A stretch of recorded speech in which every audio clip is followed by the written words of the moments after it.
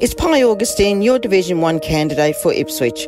My plan is for a community that is vibrant and attracts world investment, a community that is connected with the state of the art transport system, a community that cares for our people and environment at a time of need. Division 1 needs a councillor that has the energy and motivation to get things done, a community champion. Find out more about me on my Facebook page, Pi Augustine for Division 1. This ad was approved by Pi Augustine candidate. Coming up, a breakthrough on funding to eventually upgrade Ripley Road to four lanes. An art gallery for kids. Stop the Stink petition gets council support. And four new leases in Nicholas Street. Mayor Teresa Harding joins the show following the January meeting of Ipswich City Council. It's Monday, January 29, 2024, and I'm Alan Roebuck. Welcome to Ipswich Today, which acknowledges the traditional custodians of the land on which it is produced and pays respects to elders past, present, and emerging. This podcast is supported by Conetix, people powered web hosting trusted by Australian businesses since 1999. Thanks for speaking with Ipswich Today, Mayor Harding. My pleasure. Thank you, Alan, and thank you to the listeners of Ipswich Today. The first council meeting of the year on January 25 and the last before caretaker period. There was more discussion on the Stop the Stink petition received by council last year and referred to January's council meeting. Firstly, why was it referred to this meeting rather than a relevant committee? Um, the relevant committee would have been the Growth, Infrastructure and Waste Committee, but we wanted to come to the ordinary council meeting for all councillors to, to hear it. Um, Redbank Plains resident Tracy Butler was invited to present the petition to council last month, and so the report came to council to resolve it, and just, and we've resolved to send the petition on to the local state members, but also the Minister for Environment, Science and Innovation. Uh, the Queensland Parliament does not accept Change.org uh, petitions. They obviously the the um, Queensland Parliament have uh, an e-petition site. So as part of our response, we'll be encouraging people to sign up to the current e-petition. Um, on the Queensland Parliament website to stop the stink of the waste industry in Ipswich. What else is Council hoping to achieve? I think just letting people know of the petition, um, uh, just highlighting to the, the minister that it's not just council talking to them and it's not just the 27,000 odour complaints, but this is something that is really, really important to our community. It's important to the health of our and well-being of our residents. And we really want to make sure that um, we've been pushing quite firmly for f- several months now, it's a council position, to compel um, any composting uh, operators to invessel um, their organic matter because that's the, that's where the odour is. So um, we should be making steps that if it's within five kilometres of a residential area, it needs to be in, uh, enclosed. Another item on the agenda this month more regulated parking coming to Springfield Central around the community centre. What is going to happen and when will it take effect? Yeah, this was money generated from from residents, and Councillor Jonic brought this forward um, in Springfield Central, just near the community centre and YMCA. There, um, there's currently no um, restrictions there. Anyone can park there. It's quite it's next to the school, so it's being used for all day parking there, which means um, some people who have mobility issues or accessibility issues, or prams and kids, and trying to get to baby clinics, have no parking nearby, and they're having to park further away. So um, we've introduced a, an interim local law, so it's in practice for six months, and we'll see how that goes, and we'll have it heavily signed.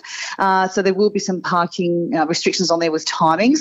We'll see how that goes, and we'll get feedback from the community to see how that's working. So I take it that's one step before introducing physical parking meters. Yes, it would be. Yeah, that would be the next step if it did come along. Um, we've discussed it with the state. So, look, I don't like putting up more parking meters, and certainly don't like fining uh, residents. But um, this is one that has been has come from the community, and so we'll, we'll test it out for six months and see how we go. I'm yet to find a councillor or a mayor who does like parking meters and uh, finding the community. Teresa Harding. Yes, especially the, around schools. the EnviroPlan levy is always a work in progress, and it's one of the great things that's uh, been sustained through multiple councils. This council has agreed that Flinders Goolman Conservation Estate will be increased by about 4%. I think through a bit of a, a stroke of good luck. Uh, it's mm. a hmm. case of an adjoining property owner approaching council, so it has mm. to be a good thing.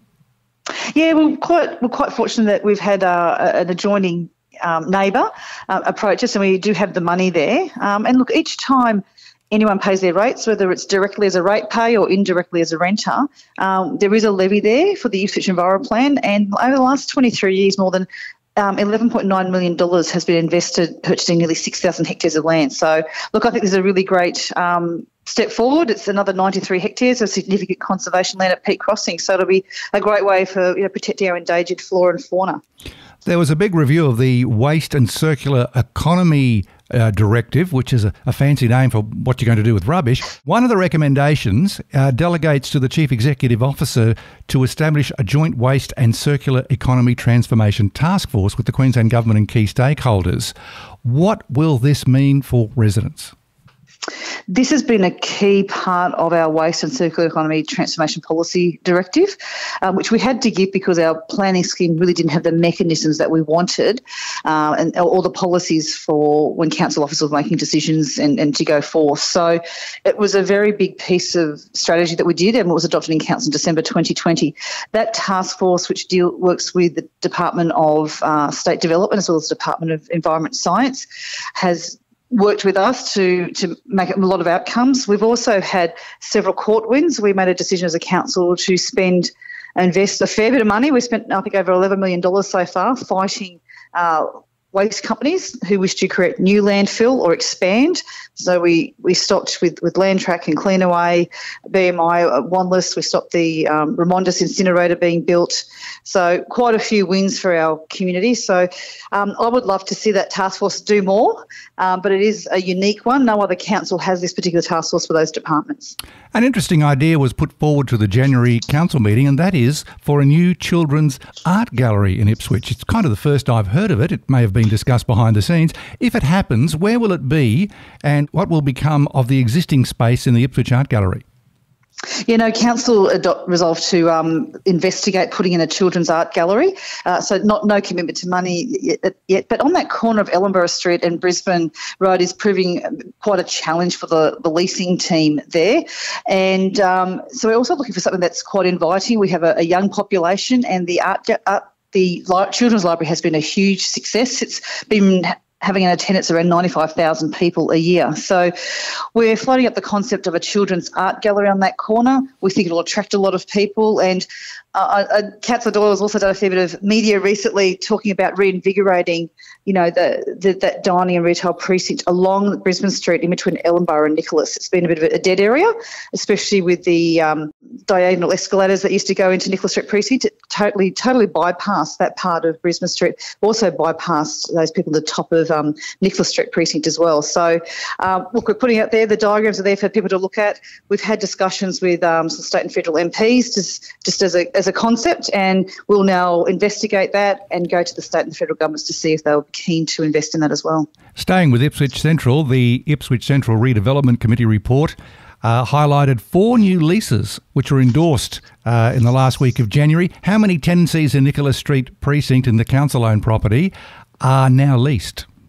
It's very um, exciting. We have um, we only have another I think 21 tenancies remaining across the portfolio, but from a space perspective, 71% of the commercial space is now leased, which is a great step forward. And certainly since we've had um, Hoyts secured in there, um, the area is far more attractive, and we're getting better financial uh, benefits for residents as well, which is fantastic. So, um, love. I can't wait till we can announce these four new leases. Uh, it's quite exciting, and um, and I guess because we go to caretaker, we've now given that permission to the CEO to finalise negotiating those leases. Committee Chair Marnie Doyle made special comments at the end of her committee meeting why they're confidential. Mm. Are there any hints of the category or type of business?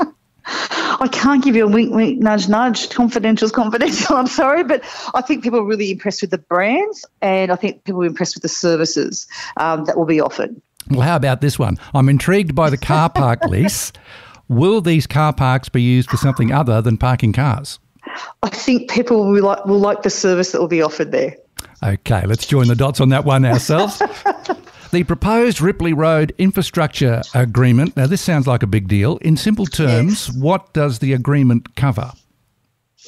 In simple terms, the Ripley Valley Priority Development Area is um, has been set up by the Queensland Government, so the planning instruments all go through the state government. Um, and there's they have an obligation to provide trunk infrastructure, so the main roads and, and things like that.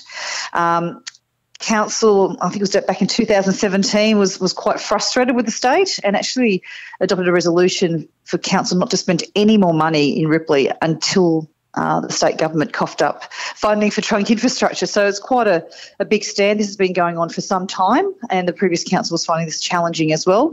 Um, we've worked very closely, this council, with Economic Development Queensland, and, and I think advocated really successfully. So we made the decision to um, um, repeal that particular resolution, and um, now we now the state government are offering us catalyst funding. Uh, so council will have to borrow money as well. But really, what will happen is that Ripley Road will move to a four-lane median divided urban arterial road, and Fisher Road to a two-lane urban sub-arterial road. So it's quite exciting. I, I can't tell you how much that's costing at the moment, but once it's signed off, we can um, be very open with the residents to see what the what it is. May I encourage residents to go to Shape Your Ipswich there's a great page on there about what's happening on Ripley roads. It goes into the detail the four different stages of the roads.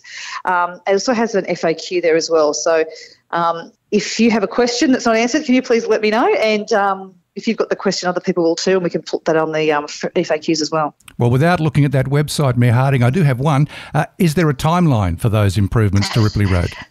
It depends on um, when we get the money from the state. This is actually a big step forward. We've never had this catalyst funding before. There was some seed funding in the beginning back in sort of 2009, 2010, but nothing else since then. This is actually a really big deal, and I'm really grateful that the state government um, have done this. I know the state MPs have also pushed for it, um, and Councillor Sheila and Councillor Jacob Madsen have also been working very closely to, to get this done as well. It's it's a really it's a really big thing. It's um, long overdue, but it's it's and I can't fix up the the past, but um, in moving forward, it's a really, it is a really big deal and make a big difference to the people of Ripley. The feeling of a local government election is in the air with caretaker period starting January 29. What does this mean for councillors and their activities and council services, more importantly? For council services, it should be no different for residents. Um, the libraries are open, the, the bins are getting picked up, uh, the the fields are getting mowed. That that doesn't ha- that doesn't change. The restriction is on uh, councillors um, because we are campaigning. So it's making sure that we don't use council resources, ratepayers' funds, um, to support us while we campaign, which is not seen as a council activity. It's, a, it's considered a private activity, but under under the law. So um, so once caretaker kicks in, um, you'll see that um, we won't be conducting sort of those community matters mobile offices. Um, I can't issue media releases from the council. Um, council can't make decisions that are, or, procurement decisions over $2 million. Uh, we can't bring in any new policies and we can't hire and fire a CEO. So it's, it's very much, uh, you'll see that we've got still a number of committee meetings and two more ordinary council meetings, and we'll be still be doing, you know, making decisions on things, that we can't uh, make, we can't encumber a future council on, on things. I will chat with you in a future episode about your campaign, but in the meantime, Teresa Harding, thanks for speaking with Ipswich today. Thank you very much, Alan. I look forward to chatting with you. Um, uh, being the mayor is a very uh, full-on job, and I've been very focused on delivering for, for the people of Ipswich. And during the election period, I'll certainly have a, a bit more to say on, on what I'd like to see going into the future. We'll talk to you then. Thank you. That's it for this episode. Just a reminder to look for handy links in the show notes. Ipswich Today is supported by Conetix people powered web hosting trusted by Australian businesses since 1999. This podcast is listener supported. Please make a once only gift or regular donation to help keep it online. Just go to ipswichtoday.com.au.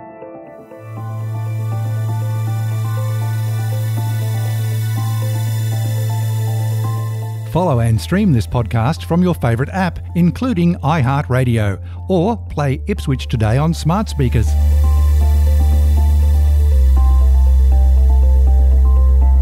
Music is supplied by Purple Planet Music. This is Alan Roebuck. Thank you for listening.